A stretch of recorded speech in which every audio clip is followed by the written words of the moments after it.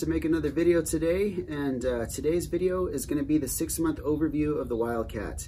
Um, I've had it for a little over six months but that sounds like a good number so we'll keep it at that. And uh, I've, I've put this thing through the ringer. I've shot several thousand rounds through it and uh, I've modified it. I've taken parts off and back on and rebuilt some stuff. So I think at this point uh, I could speak for my opinions on the rifle um, and let you guys know kind of how I feel. Before I get too far into this video, um, there's a guy I communicate with uh, on Instagram. His He's the owner. He has a store called 910 Airgun Tuning and Repairs.com. That's his website. And he is an excellent technician for air guns, for air rifles. Uh, many times I've asked him for some for help or uh, basic questions and uh, parts and, and whatnot, and he's always been very helpful. And he's kind of doing me a favor and uh, by that, by what I, what I mean by that, he's given me a coupon code to give to you guys uh, to kind of get a, a, discount from some of the stuff at his store. And uh, I'm not in any way sponsored by him. Some of the parts that I have on this rifle are from his store, and I pay full price for everything. I don't get nothing, no corners cut or nothing like that.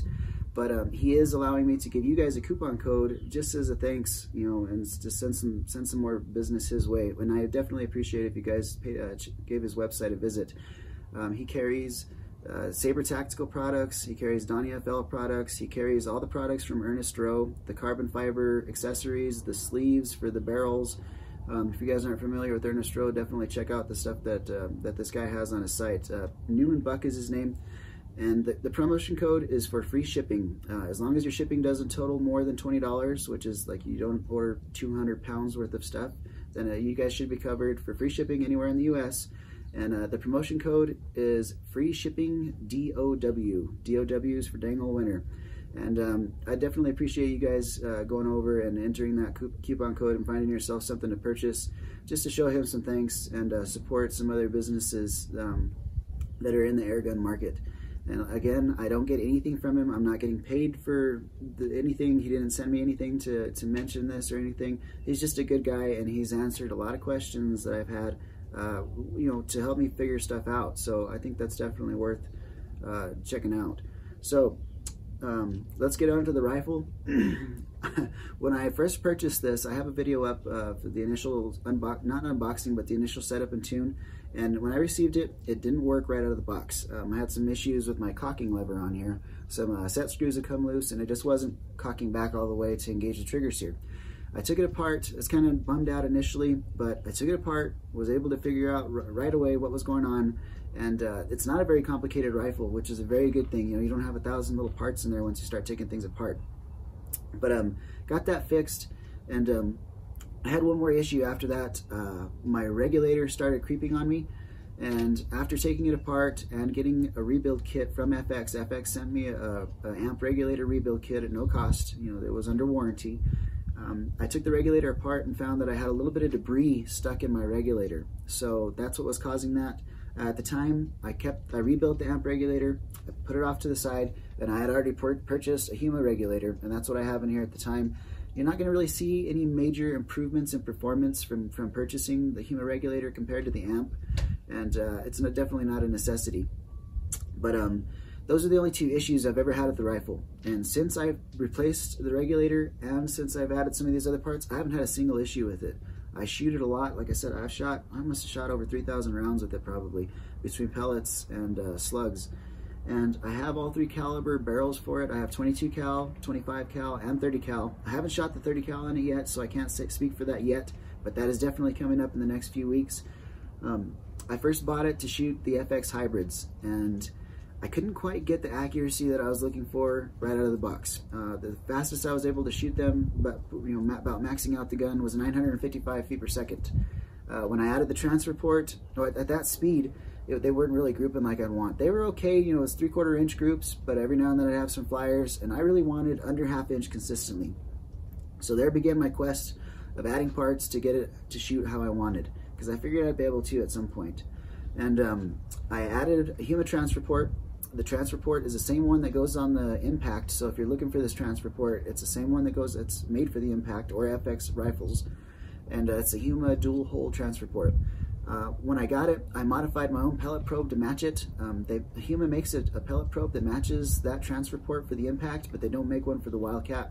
Uh, all I did was took a Dremel and hollowed it out, you know, made it wider, elongated it until it matched the opening for the transfer port.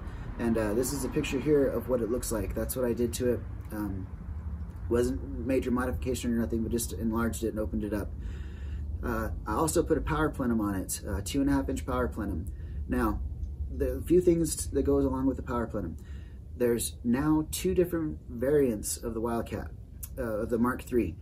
FX slightly changed one of the parts that's in here on the air tube. I'll show you guys that here in a bit of how to identify that, which one you have. The one that I got was from the very first batch of impacts. The very first day that they became available, I had ordered it, and you know, a couple days later, I received it.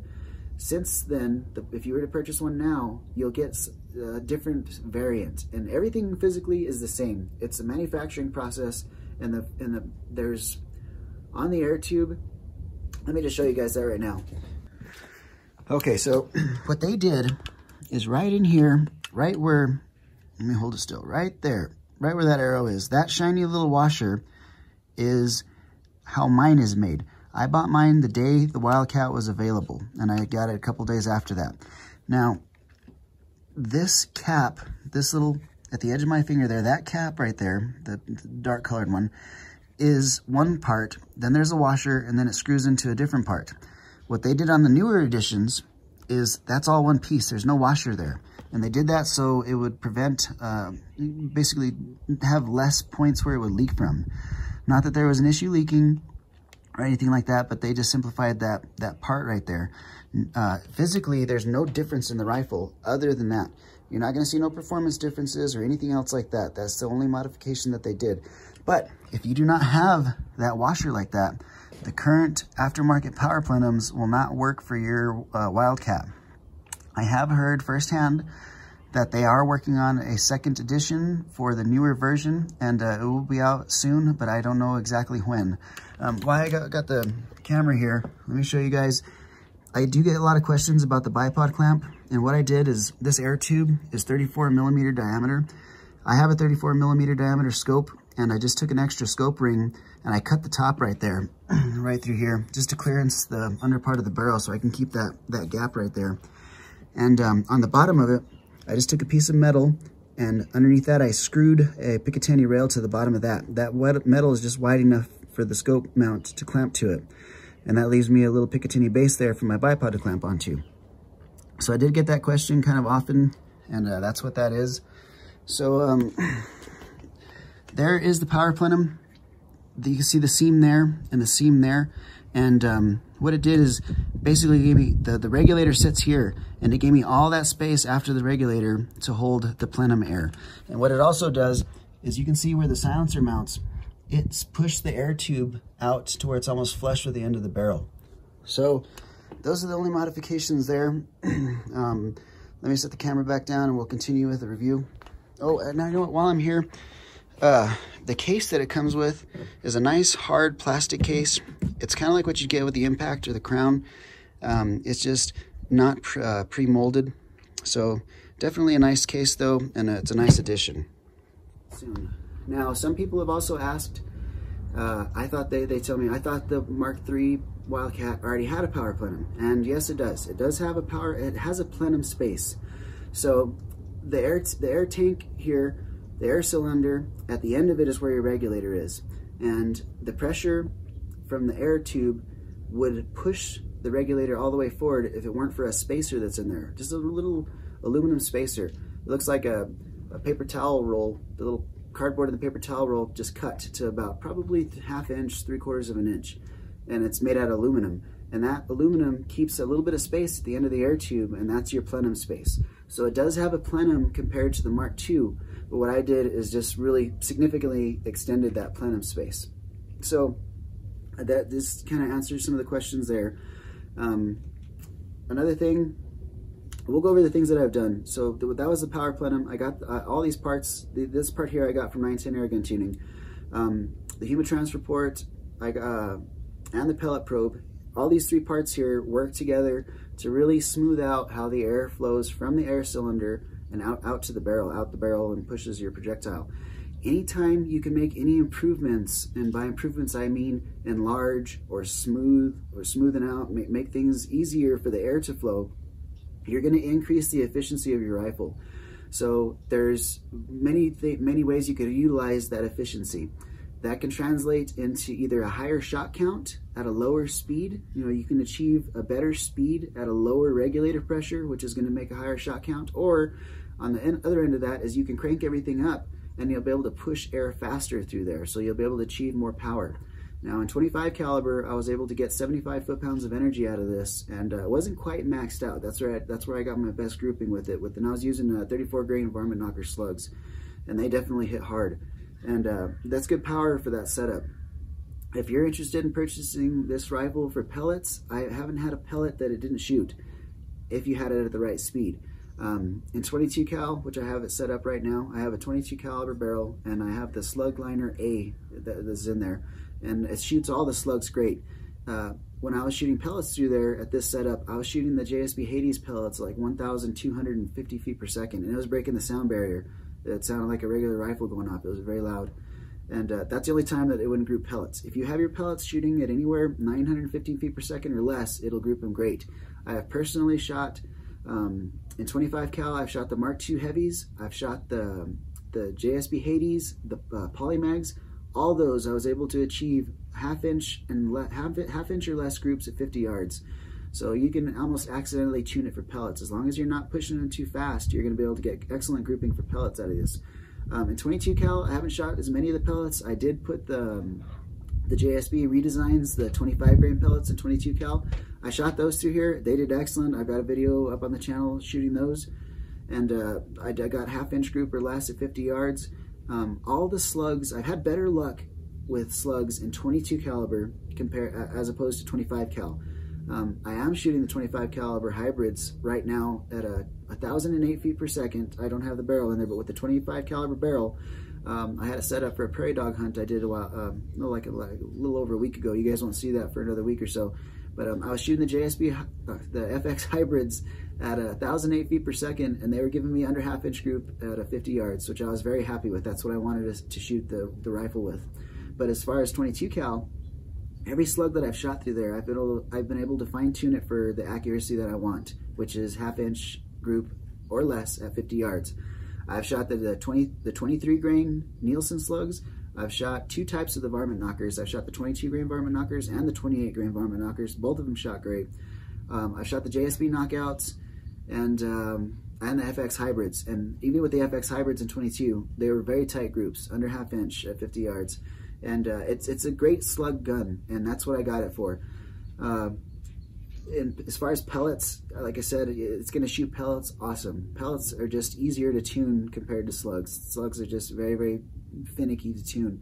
You know, five foot per second difference, five feet per second difference can make the difference between a good group and not. They're just that picky sometimes. But um, the, after owning this rifle and shooting it, I've shot prairie dogs with it. I've shot birds with it. I've shot you know, squirrels with it. I took it squirrel hunting. You have to check out my Instagram. Um, I shot my limit 16 squirrels. Some of them I shot with my BP-17, but a lot of them I shot with this in 22 cal. And uh, almost all of them were headshots. This thing is just shooting great with the 22 cal slugs. It also shoots great with the 25 cal slugs. And um, I, am real big on ballistic, um, ballistic performance. Um, it's one thing to set up your rifle, and I think people kind of run short sometimes, and maybe not all times. It depends what you shoot, what type of shooting you do. If you have a 25 yard range in your backyard, it doesn't make sense to shoot 30 caliber slugs.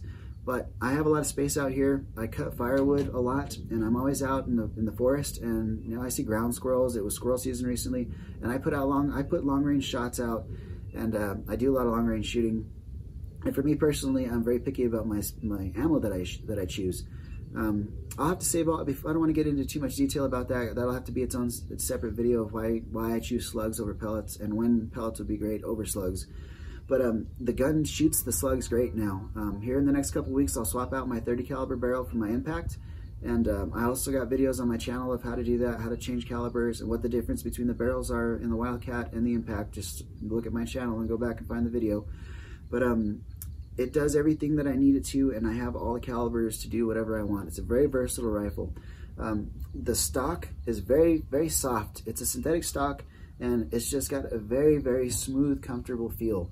Um, I'm a big fan of bullpups, and this one is just nice to hold. The grip has textured parts for your fingers, and it's just very soft to the touch, and it's very well balanced. It's not heavy, um, it's not very long. You know, it's even with the setup that I have right now. Um, I have a tape measure here. Let me see this. Uh, the way it's set up right now, overall length is 40 inches with a suppressor. So that's not bad at all for me personally. Um, I've had regular traditional non-bullpup rifles and uh, most of them are longer than this setup and you're not getting such a long barrel.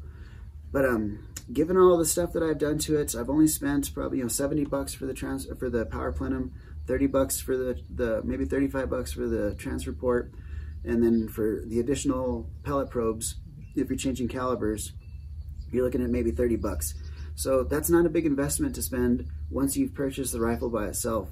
And uh, you know, for me personally, I would go back and do it again. Um, if, if this gun is on your list, if it's in your price range, I would say definitely go for it. It's an excellent gun, and if you get it and uh, spend the time to adjust it for your shooting style, whether it be pellets or slugs, you're gonna love it. I love shooting this gun. I love shooting it long distance. Uh, the longest kill shot I've had on a prairie dog was 176 yards, and I got that on scope cam. That'll be coming up in another week or so, the footage from that hunt. But um, yeah, that was in 22 cal, and uh, it's it's an excellent setup. You know, it's definitely capable of some of, of excellent accuracy, which you can push out to whatever distance you want to go try for. And um, I would definitely go back and purchase it again. Um, it, you don't necessarily need all the hop-up parts for shooting pellets, but what it is going to give you, if you buy these parts, it's going to give you uh, either two, two things. You're going to either have a higher shot count or you're going to have the capability of shooting anything at whatever speed you want. You know, there's in 22 caliber especially, there's not a, a, a, projectile that this gun wouldn't handle. You can push the speeds up to shoot whatever you want, you know, within within realistic expectations. You're not going to shoot something at 1500 feet per second is what I'm saying. You know, anything, you can find a tune for just about every projectile out there. And um, I, have got a 25 caliber uh, superior heavy barrel coming. And um, as soon as that comes in, I'll have some more ballistic tests on that. I think that'll be better for the heavier slugs that I have. I have some 32 grain slugs, some 34 grain slugs from Varmint Knocker, and I'll also be doing some tests on the Nielsen slugs in the higher weights. So that's something I'll be testing here in the future. But my overall opinion of this rifle is that it's an excellent rifle.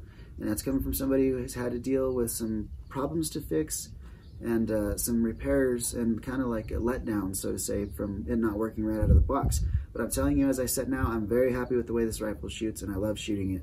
And uh, like I said, if you guys get this rifle and you get it set up, spend some time uh, for pellets, it's going to shoot great right out of the box. If you get the slug, want to shoot shoot slugs with it, uh, spend some time, get your tune right, and you will be very happy with it because it's a very consistent, very good shooting rifle. The trigger is excellent, very simple to adjust, and it just feels great in the hand. Um, I'll try to keep this video not too long, so if there's anything that I didn't cover that you guys are interested in, you know, interested in knowing, I'll definitely give you guys my opinion. Um, I'll give you my experience at least and let you know what I think uh, from from my own personal handlings of the rifle. And uh, just leave me a comment in the comment section and I'll get to you. I try to always get to my comments. And uh, don't don't forget to go to 910 Airgun Tuning and check out his website. And uh, don't forget that promo code, uh, free shipping DOW and you can only use that shipping code once. So uh, if you guys want several things from there, maybe save up and uh, purchase them all at the same time so you can take advantage of the free shipping. Once you use it once, it's no longer valid for you for you again. So um, thank you guys for you know the, the continued support, and um, I always look forward to reading your guys' comments. And uh, stay tuned for more episodes on the Wildcat and the Impact. And um, I got some some more reviews with the BP-17 coming up. And uh, who knows, we got some more rifles coming up in the future. So uh, also stay tuned. I'm going to be doing some reviews in the 22 cal of the Patriot slugs, uh, the Patriot javelins. Um, I've got three different uh, three different weights coming, and I'm going to be doing all those tests into ballistic gel, I'm excited to see what that'll do. But um, thank you guys for watching, and uh, stay tuned for some more episodes.